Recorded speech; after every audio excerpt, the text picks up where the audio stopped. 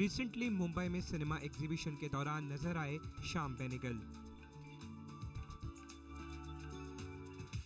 इस इवेंट से काफ़ी इम्प्रेस नज़र आए फ़िल्म मेकर श्याम बेनेगल श्याम बेनेगल ने कहा कि हिंदी सिनेमा की जन्मभूमि पर इस तरह के कार्यक्रम करवाना किसी सौभाग्य से कम नहीं है।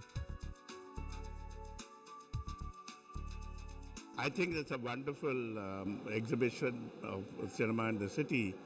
Uh, this is the first time it's happening in the city of Mumbai, which actually is the center of cinema from the very beginning, from 1893. So when when um, these people, I mean 1896, sorry, when cinema started in India, it started in this city. It is but right that we should have a festival of this kind, a week-long festival of this kind, which kind of celebrates cinema in the city. इस दौरान श्याम बेनेगल ने कहा कि आजकल female character को भी बड़े पर्दे पर बड़े अच्छे से प्रोजेक्ट किए जाने लगा है पर ऐसा कुछ हिंदी सिनेमा में पहले नहीं हुआ करता था The cinema has always reflected society generally.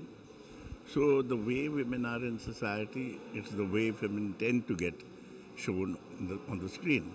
But I think since 1950s particularly, there has been a certain kind of there's a certain kind of recognition and enlightenment among filmmakers, and therefore today you find that more and more filmmakers will give as much importance to the female characters as they did to male characters.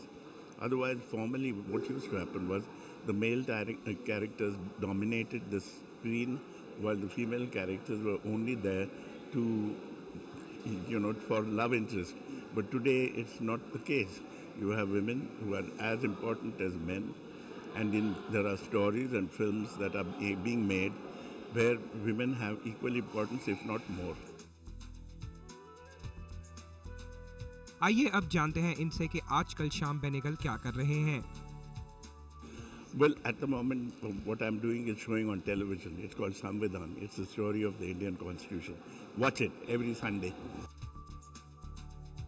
Shyam Benegal इस event से तो दिखे काफ़ी खुश। उम्मीद करते हैं कि आने वाले वक्त में भी ऐसे कार्यक्रम का आयोजन किया जाए। एंटरटेनमेंट डेस्क से Jaideep Mitra day and night news Mumbai. खबरों की दुनिया में आइए। हमारे साथ कहीं भी और कभी भी जुड़िए। हम मिलेंगे फेसबुक पर। हम दिखेंगे यूट्यूब पर। हमें फॉलो कीजिए ट्विटर पर। खबरों के साथ बने रहिए रात दिन।